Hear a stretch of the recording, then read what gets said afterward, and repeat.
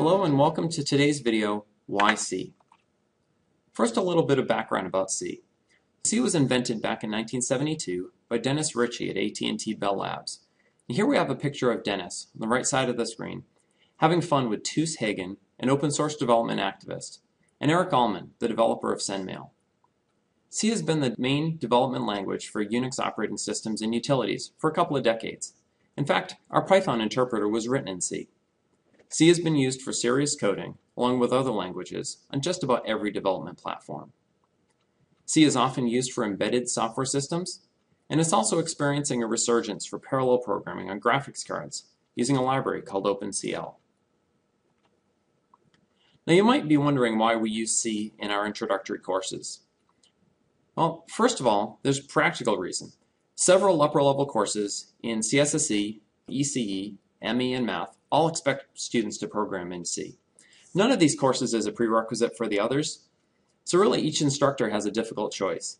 Either teach the students the basics of C, which of course will be redundant for many of them who already know it, or expect the students just to learn it on their own, which is going to be difficult for the other students. So a brief C introduction here in this course will make it easier for you and your instructor when you take those courses. Second, there's also a very good pedagogical reason why we teach C now. Comparing and contrasting two languages is a great way to reinforce your programming knowledge.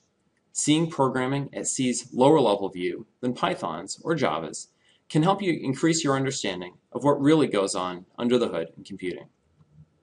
Many other programming languages, like Java or C Sharp, share much of their syntax and semantics with C. So learning any of these languages will be easier once you already know one of them.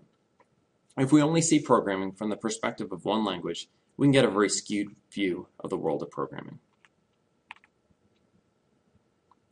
So let's talk about some of the trade-offs that you encounter when programming in C. First of all, the programmer has more control. For example, C provides direct access to hardware, which is a good thing. However, there are fewer high-level language features, like built-in lists, classes, and objects, so the programmer sometimes has to deal with more finicky details. Compiling a program means converting the whole program from the code that we write into something that the computer can execute. C code is usually compiled for a specific processor. That means it runs faster than a language like Python, but it'll be less portable than Python or Java.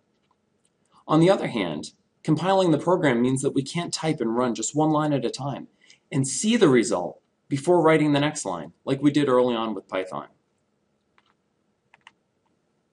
Finally, we have static typing, which makes it easier to catch programmer errors. Static typing means that every variable in the program has a specific type that can be checked at compile time. Of course, there's the extra work that's required to actually declare those types. Until next time, I'm Matt. Catch you later thank you